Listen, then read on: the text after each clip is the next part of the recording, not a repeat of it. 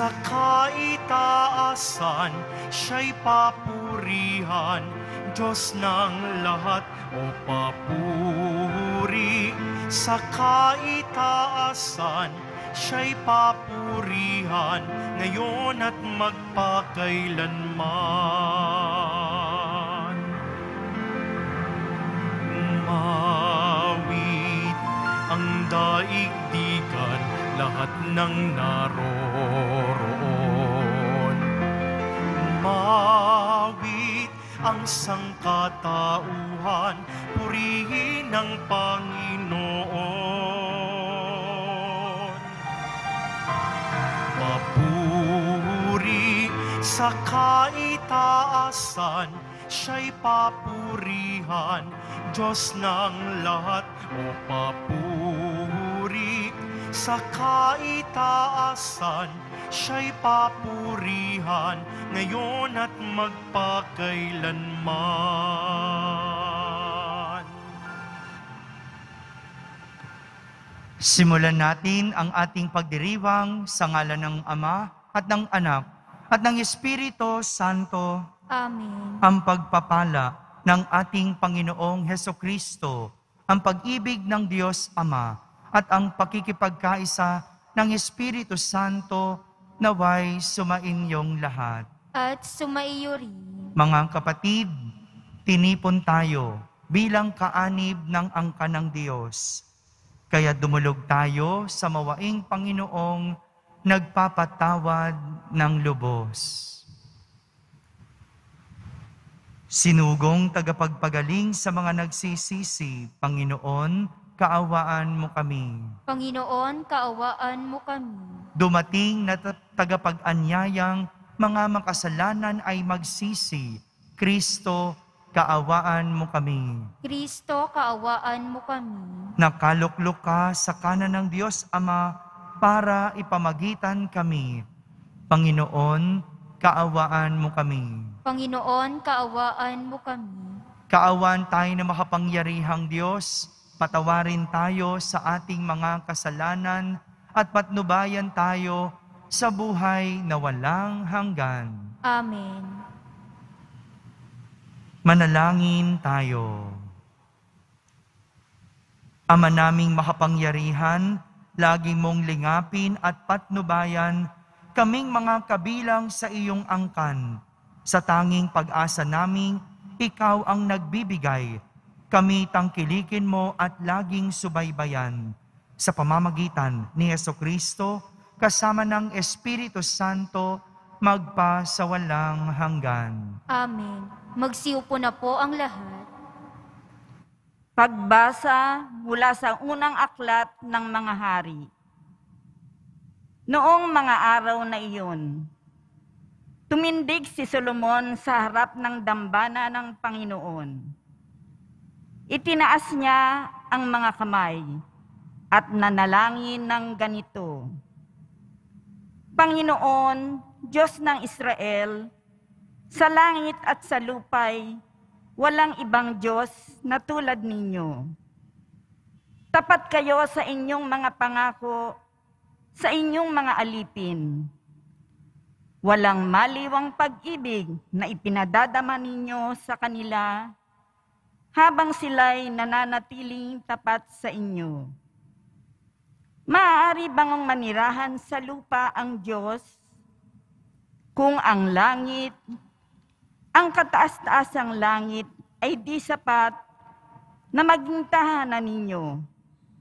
Ito pa kayang hamak na tahanang aking itinayo. Gayunman, dinggin ninyo ang dalangin at pagsamo ng inyong alipin, O Panginoon, aming Diyos. Dinggin ninyo sa araw na ito ang panawagan ng inyong alipin Huwag ninyong iwaglit sa inyong paningin araw-gabi ang templong ito. Yamang kayo ang may sabi na ang pangalan ninyo'y mamamalagi rito. Sa gayon, maririnig ninyo ang bawat dalangin ng inyong alipin tuwing mananalangin sa puok na ito. Dinggin ninyo ang inyong alipin at ang inyong bayan tuwing kami mananalangin sa lugar na ito. Dinggin ninyo kami, buhat sa inyong luklukan sa langit, at patawarin ninyo kami. Ang salita ng Diyos. Salamat sa Diyos. Ang templo mo'y aking mahal, Diyos na makapangyarihan. Ang templo mo ay aking mahal, Diyos na makapangyarihan. Nasasabik ang lingkod mong sa patio mo ay pumasok. Ang buo kong pagkatao'y umaawit na may lugod. Sa masayang pag-awit ko, pinupuri buhay na Diyos. Ang templo mo ay aking mahal, Diyos na makapangyarihan. Panginoon, sa templo mo, mga mayay nagpupugad. Mga ibong layang-laya sa templo mo'y nagagalak. May inakay na kalinga sa tabi ng iyong altar. O poon, hari namin at Diyos na walang kupas. Ang templo mo ay aking mahal, Diyos na makapangyarihan. Mapalad na masasabi, sila dooy tumatahan. At palaging umaawit, nagpupuring walang hanggan. Basbasan mo, Panginoon, yaring hari naming mahal.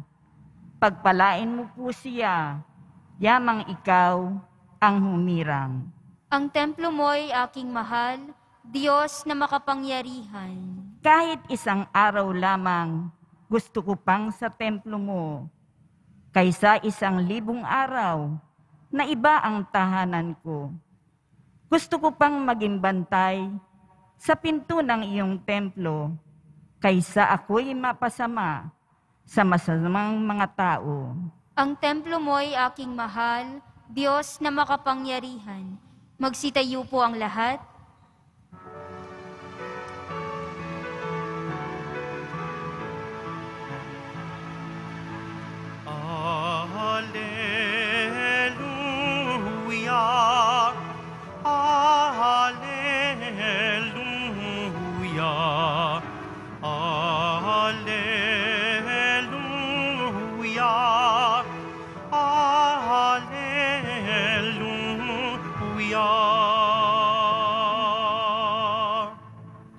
Sa salita mo, akitin ang puso ko at loobin nang ikaw ay aking sundin.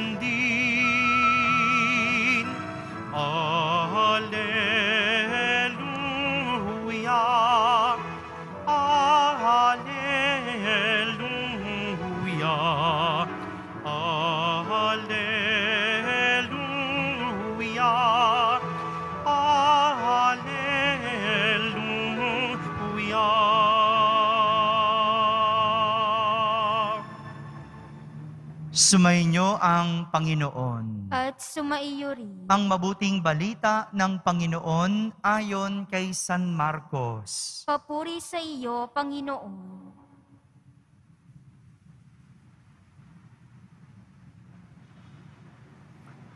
Noong panahong iyon, may mga pariseyo at ilang eskriba galing sa Jerusalem na lumapit kay Jesus. Nakita nila na ang ilan sa mga alagad ni Jesus ay kumain ng hindi muna naghuhugas ng kamay sa paraang naaayon sa turong minana nila. Ang mga Hudyo, lalo na ang mga Pariseyo, ay hindi kumakain hanggat hindi nakapaghuhugas ng kamay ayon sa mga turong minana nila sa kanilang mga ninuno. Hindi rin sila kumakain ng anumang galing sa palengke nang hindi muna ito hinuhugasan. At marami pang ibang minanang turo ang kanilang sinusunod. Tulad ng tanging paraan ng paghuhugas ng mga inuman, ng mga saro, ng mga sisidlang tanso, at mga higaan. Kaya tinanong si Jesus ng mga pariseyo at mga eskriba, bakit hindi sumusunod ang mga alagad mo sa mga turo ng ating mga ninuno? Kumain sila nang hindi man lang naghugas ng kamay ayon sa paraang iniutos. Sinagot sila ni Jesus, Tama ang hula ni, Isa- ni Isaías tungkol sa inyo. Mapagpaimbabaw nga kayo, gaya ng kanyang isinulat. Paggalang na handog sa akin ng bayan ay papaimbabaw lamang sapagkat sa bibig at hindi sa puso ito bumubukal. Pagpurit, pagsambang ginagawa nila'y walang kabuluhan. Ang utos ng tao ay itinuturong utos ng may kapal. Niwawalang kabuluhan nga ninyo ang utos ng Diyos at ang sinusunod ninyo'y ang turo ng tao. Sinabi pa ni Jesus, kay husay ng paraan ninyo sa pagpapawalang bisa sa utos ng Diyos. Masunod lamang ninyo ang mga turong minana ninyo. Tulad nito, iniutos ni Moises, igalang mo ang iyong ama't ina, at ang magsalita ng masama sa kanyang ama o ina ay dapat mamatay. Ngunit itinuturo ninyo kapag sinabi ng isang tao sa kanyang ama o ina, ang anumang maitutulong ko sa inyo ay korban. Alalong bagay, inihahain ko ito sa Diyos. Hindi na ninyo siya pinahihintulutang tumulong sa kanyang ama o ina. Sa ganitong paraay, niwawalang kabuluhan ninyo ang salita ng Diyos sa pamamagitan ng mga turong minana ninyo. At marami pang bagay na tulad nito ang ginagawa ninyo. Mga kapatid, ang mabuting balita ng Panginoon. Pinupuri ka namin, Panginoong Heso Kristo. Magsiupo na po ang lahat. Isang magandang araw po sa inyong lahat. Mapagpaimbabaw. Ito po ang nasabi ni Jesus sa mga pariseyo at eskriba na nagtanong sa kanya kung bakit ang kanyang mga alagad ay hindi sumusunod sa turo ng kanilang mga ninuno. Mapagpaimbabaw. Nakita kasi ng mga pariseyo at eskriba na hindi naghugas ng kamay ayon sa itinuturo ng mga ninuno, yung mga alagad ni Jesus. Samantalang mayroon silang katuruan tungkol sa paglilinis o paghuhugas ng mga bagay-bagay.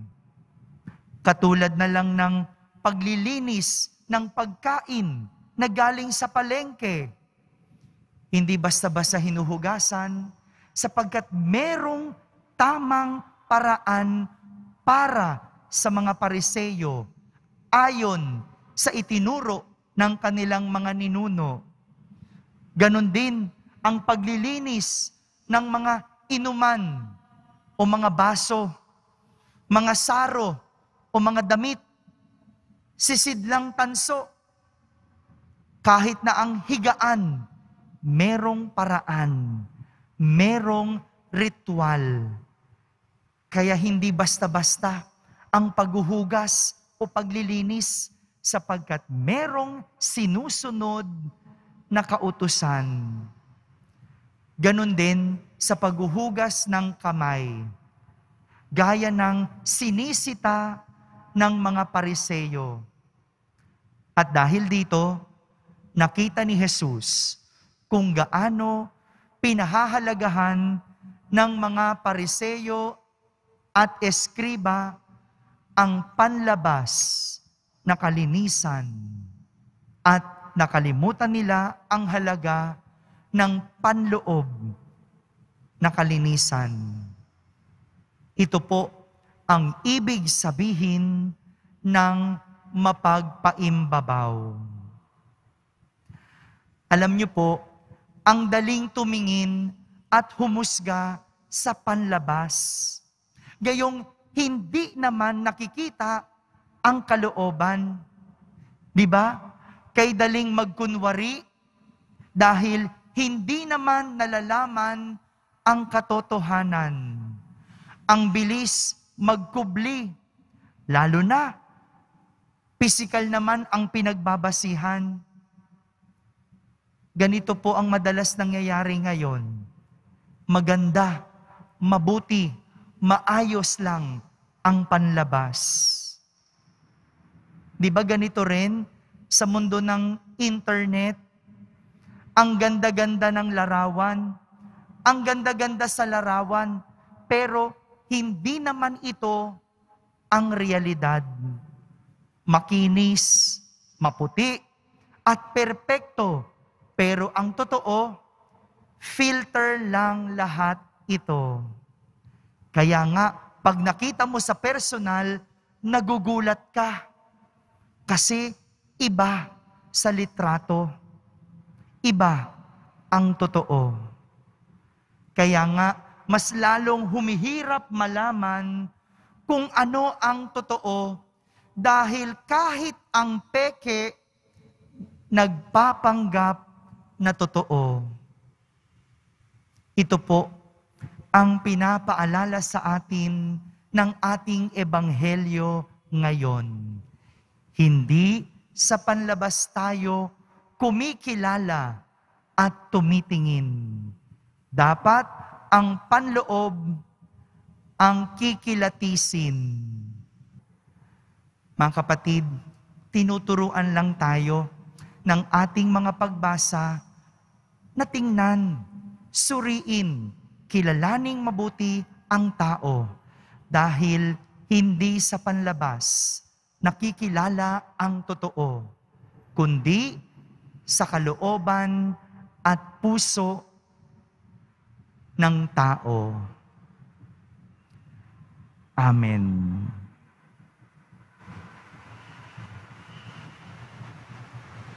Magsitayo po ang lahat.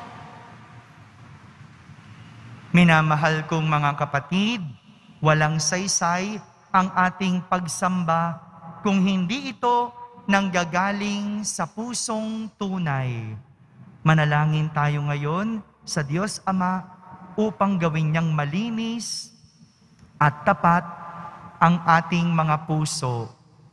Ating sambitin sa bawat panalangin, Ama, buksan mo ang aming mga puso sa iyong puso. Ama, buksan mo ang aming mga puso sa iyong puso. Ang mga namumuno sa ating simbahan, naway laging gabayan ng liwanag ng Ebanghelyo, at huwag nawa nilang hanapin ang seguridad sa mga makamundong estruktura. Manalangin tayo. Ama, buksan mo ang aming mga puso sa iyong puso. Bilang isang komunidad, naway huwag nating isara ang ating mga mata sa tunay na pangangailangan ng mga mahihirap ng ating kasama-kasama. Manalangin tayo. Ama, buksan mo ang aming mga puso sa iyong puso. Ang mga may sakit naway, mapalakas sa kanilang kahinaan at mapalaya sa kanilang karamdaman. Manalangin tayo. Ama, buksan mo ang aming mga puso sa iyong puso. Ang mga kapatid nating pumanaw na ay magkamit nawa ng kapayapaan ng Diyos. Manalangin tayo. Ama, buksan mo ang aming mga puso sa iyong puso. Sa katahimikan, ating ilapit sa Diyos ang ating mga pansariling kahilingan.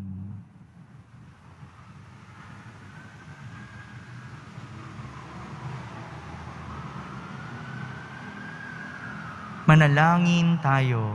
Ama, buksan mo ang aming mga puso sa iyong puso. Makalangit na Ama, likhain mo sa amin ang tapat na puso upang amin ding mahalin at igalang ang aming kapwa na iyong pinahahalagahan. Hinihiling namin ito sa pamamagitan ni Kristo na aming Panginoon. Amen. Magsiupo na po ang lahat.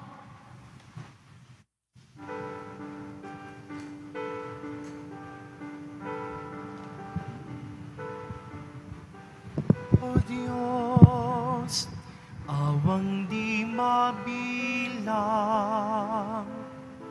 tanggapin mo yaring aming alay.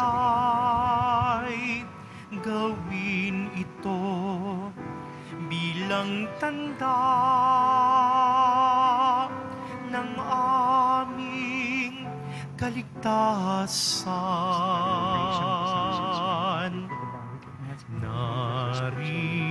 O Ama, alak at tinapay, bunga ng lupa at ng aming paggawa. Magsitayo po ang lahat. Manalangin kayo mga kapatid upang ang paghahain natin ay kalugdan ng Diyos amang makapangyarihan. Tanggapin nawa ng Panginoon itong paghahain sa iyong mga kamay, sa kapurihan niya at karangalan, sa ating kapakinabangan, at sa buong sambayanan niyang banal. Ama naming lumikha, ang pagkait inuming narito ay iyong ginawa upang mapalakas kaming mga mahihina. Ipagkalob mong ikaw ay aming mapagsaluhan bilang pakikinabang sa buhay mong pangmagpakailanman. Sa pamamagitan ni Yeso Kristo, kasama ng Espiritu Santo, magpa sa walang hanggan. Amen. Sumainyo ang Panginoon. At sumaiyo rin. Itaas sa Diyos ang inyong puso at diwa. Itinaas na namin sa Panginoon. Pasalamatan natin ang Panginoong ating Diyos. Marapat na siya'y pasalamatan. Ama naming makapangyarihan, tunay ngang marapat, na ikaw ay aming pasalamatan. Sa iyong paglingap at kagandahang loob, ang tao'y nilikha mo't pinangasiwa sa sansinukob. Sa hangad mong siya'y iwastong lubos, siya'y pinagdusa mo sa kanyang pagtalikod. Sa iyong paggiliw, iyong ipinahintulot na makabalik siya sa pamamagitan ni Kristo Jesus. Kaya kaysa ng mga anghel na nagsisiawit ng papuri sa iyo nang walang humpay sa kalangitan, kami nagbubunyi sa iyong kadakilaan. Santo, Santo, Santo, Panginoong Diyos ng mga hukbo, napupuno ang langit at lupa ng kadakilaan mo, o sana sa kaitaasan. Pinagpala ang naparirito sa ngalan ng Panginoon, o sana sa kaitaasan. Magsiluhod po ang lahat. Ama naming banal, ikaw ang bukal ng tanang kabanalan. Kaya't sa pamagitan ng iyong Espiritu, ay gawin mong banal ang mga kaloob na ito, upang para sa amin ay maging katawan at dugo ng aming Panginoong Heso Kristo. Bago niya, pinagtiis ang kusang loob na maging handog, hinawakan niyang tinapay, pinasalamatan kanya. Pinaghati-hati niya iyon, iniyabot sa kanyang mga lagad at sinabi, Tanggapin ninyong lahat ito at kanin. Ito ang aking katawan na inihahandog para sa inyo.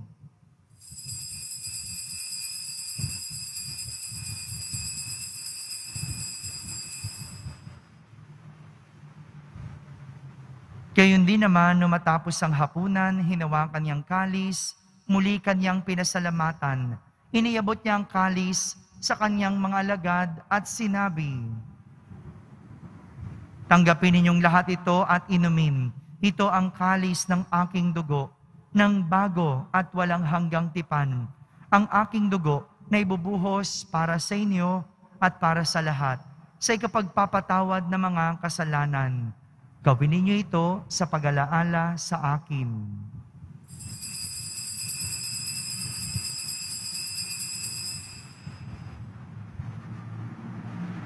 Magsitayo po ang lahat. Ipagbunyi natin ang misteryo ng pananampalataya. Si Kristo'y namatay, si Kristo'y nabuhay, si Kristo'y babalik sa wakas ng panahon. Ama, ginagawa namin ngayon ang pag-alaala sa pagkamatay at muling pagkabuhay ng iyong anak. Kaya't inaalay namin sa iyo ang tinapay na nagbibigay buhay at ang kalis na nagkakaloob ng kaligtasan. Kami nagpapasalamat dahil kami iyong minarapat na tumayo sa harap mo para maglingkod sa iyo. Isinasamo namin kaming magsasalo-salo sa katawan at dugo ni Kristo ay mabuklod sa pagkakaisa sa pamamagitan ng Espiritu Santo. Ama, lingapin mo ang iyong simbahang laganap sa buong daigdig. Puspusin mo kami sa pag-ibig, kaisa ni Francisco na aming Papa, ni Jose na aming Obispo at ng Tanang Kaparian. Alalahanin mo rin ang mga kapatid naming nahimlay na may pag-asang sila'y muling mabubuhay. Gayon din ang lahat ng mga pumanaw. Kaawan mo sila at patuloyin sa iyong kaliwanagan. Kaawan mo at pagindapating kaming lahat na makasalo sa iyong buhay na walang wakas. Kaisa na mahal na Birheng Maria na ina ng Diyos. Nang kabiyak ng puso niyang si San Jose, kaysa ng mga apostol at ng lahat ng mga banal na namuhay dito sa daigdig ng kalugod-lugod sa iyo. May pagdiwang nawa namin ang pagpupuri sa kararangal mo sa pamamagitan ng iyong anak na aming Panginoong Heso Kristo. Sa pamamagitan ni Kristo, kasama niya at sa Kanya, ang lahat ng parangal at papuri ay sa iyo, Diyos amang makapangyarihan, kasama ng Espiritu Santo, magpa sa walang hanggan. Amen. Sa tagubilin ng mga nakahagaling na utos at turo ni Jesus na Panginoon natin at Diyos, ipahayag natin ng lakas loob. Ama namin, sumasalangit ka, Sambahin ang ngalan mo. Mapasa amin ang kaharian mo. Sundin ang loob mo dito sa lupa para ng sa langit. Bigyan mo kami ngayon ng aming kakanin sa araw-araw at patawarin mo kami sa aming mga sala para ng pagpapatawad namin sa nagkakasala sa amin. At huwag mo kaming ipahintulot sa tukso at iadya mo kami sa lahat ng masama. Hinihiling namin kami iadya sa lahat ng masama. Pagkaloban ng kapayapaan araw-araw, iligtas sa kasalanan at ilayo sa lahat ng kapahamakan. Samantalang aming pinananabikan ang dakilang araw ng pagpapahayag ng tagapagligtas naming si Heso Kristo. sapagkat iyo ang kaharian at ang kapangyarihan at ang kapurihan magpakailanman. Amen. Panginoong Yeso Kristo, sinabi mo sa iyong mga apostol, kapayapaan ang iniiwan ko sa inyo. Ang aking kapayapaan ang ibinibigay ko sa inyo. Tunghayan mo ang aming pananampalataya at wag ang aming pagkakasala. Pagkaloban mo kami ng kapayapaan at pagkakaisa ayon sa iyong kalooban, kasama ng Espiritu Santo, magpa sa walang hanggan. Amen. Ang kapayapaan ng Panginoon ay laging sumainyo. At sumaiyo rin. Magbigayin kayo ng kapayapaan sa isa't isa. Kapayapaan po para sa lahat. Kordero ng Diyos na nag-aalis ng mga kasalanan ng sanlibutan, maawa ka sa amin. Kordero ng Diyos na nag-aalis ng mga kasalanan ng sanlibutan, maawa ka sa amin. Kordero ng Diyos na nag-aalis ng mga kasalanan ng sanlibutan, ipagkaloob mo sa amin ang kapayapaan. Magsiluhod po ang lahat.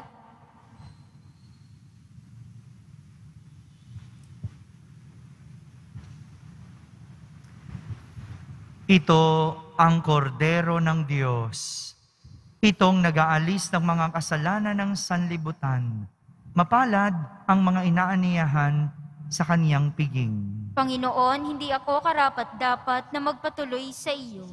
Ngunit sa isang salita mo lamang ay gagaling na ako. Ang katawan ni Kristo, Amen.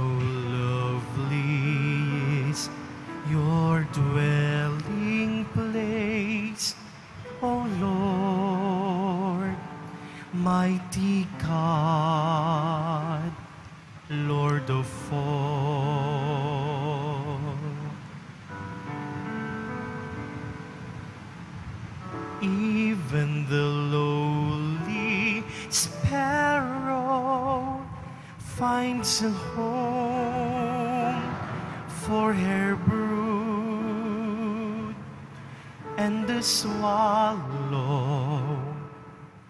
a nest for herself where she may lay her young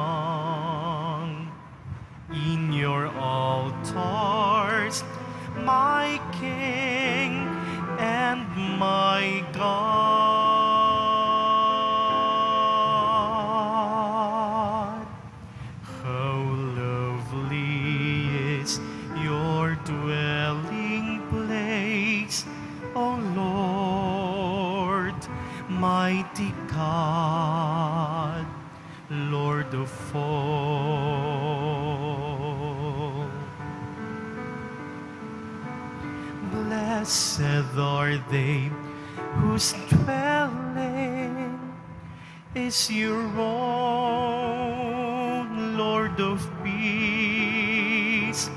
Blessed are they refreshed by springs and by rain, when dryness taunts and skates.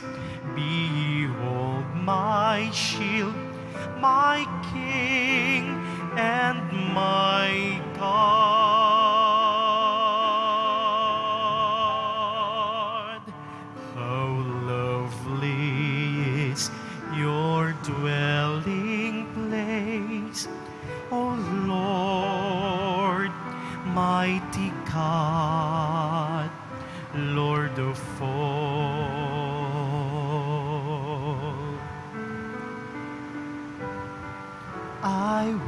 Forsake a thousand other days anywhere. If I could spend one day in your courts belong to you alone. My strength are you alone, my glory, my King,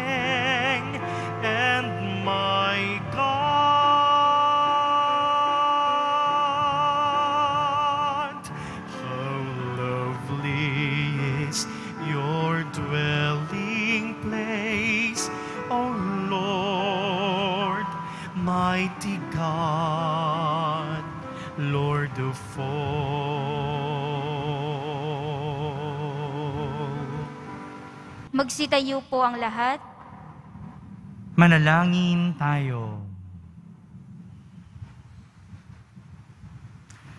Ama naming mapagmahal, sa pagkait inumin, pagkakaisa ang ibinigay. Kami niloob mong makapakinabang. Kaisa ni Kristo, kami naway makapamuhay upang makapamunga ng may kagalakan para sa kapakanan ng aming kapwa-tao sa sanlibutan. Sa pamamagitan niya, kasama ng Espiritu Santo, magpa sa walang hanggan. Amen. Panalangin kay San Roque. Ating ipagdasal ang lahat ng mga may sakit at nahihirapan ngayong pandemic. Pagdasal po natin ang buong mundo, ang ating bansa, at higit sa lahat ang ating pamahalaan. O pinagpalang San Roque, pintakasi ng mga may karamdaman, lingapin mo po ang aming mga kapatid na nasa banig ng karamdaman. Ang iyong pamamagitan ay sadyang makapangyarihan na nung ikay narito pa sa daigdig, marami ang gumaling dahil sa pag-antanda mo sa kanila ng kamahal-mahalang krus. Ngayong ikay niluluwalhati na dyan sa langit, nananalig kaming ang iyong pamamagitan ay lubhang magaling. Ialay mo po sa Panginoong Diyos yaring aming mga hinaing at sa tulong po ninyo ay makamit ang kagalingan ng aming kaluluwa at katawan. Pakundangan sa mga hirap at sakit ng Panginoong Heso Kristo at iyo pong mga panalangin. Amen. Senyor San Roque, ipanalangin mo po kami upang kami maiyadya sa salot ng COVID-19 at sa mga karamdaman ng katawan at kaluluwa. Senyor San Roque, panalangin mo po kami upang kami maiyadya sa salot ng COVID-19 at sa mga karamdaman ng katawan at kaluluwa. Senyor San Roque, ipanalangin mo po kami upang kami maiyadya sa salot ng COVID-19 at sa mga karamdaman ng katawan at kaluluwa. Sumainyo ang Panginoon. At sumaiyo rin. Pagbabasbas ng Pong Yesus Nazareno. Mahal na Pong Yesus Nazareno, inihayag mo sa pamamagitan ng krus ang walang maliw na pag-ibig ng Diyos sa sangkatauhan. Pakinggan mo ang kahilingan ng iyong angka na nagsusumamo sa iyo. Makamtanawan nila ang inyong katugunan at tanggapin ang kasagutan na may utang na loob na tinatanaw. Basbasan din po ninyo ang lahat na may karamdaman, nahihirapan, may mga dalang imahin at dasalan. Sa pamamagitan ng bendesyon na ito, naway maalala nila ang mga pangako nila noon sa binyag na ikaw ang kanilang iibigin at pagdilingkuran bilang Panginoon magpa sa walang hanggan. Amen. At pagpalain kayo ng makapangyarihang Diyos. Ama, Anak, at Espiritu Santo. Amen. Tapos na po ang ating pagdiriwang, humayking taglay ang pag-ibig at kapayapaan ng poong Jesus Nazareno. Salamat sa Diyos.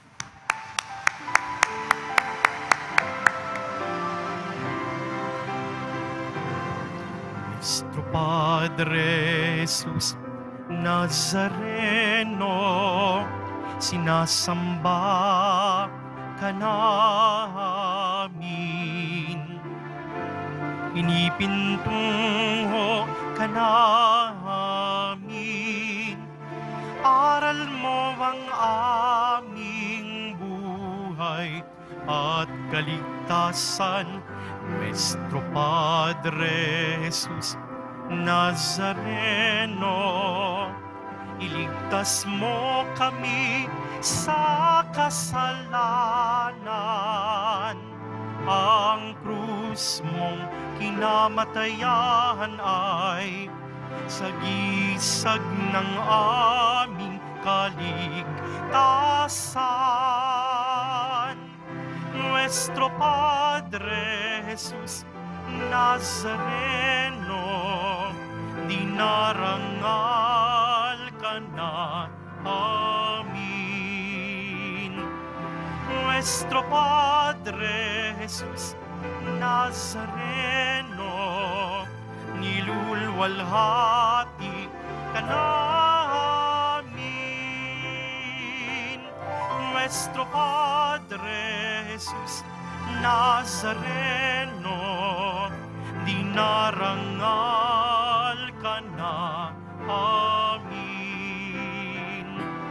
Nuestro Padre Jesus Nazareno, nilulwalhati like a.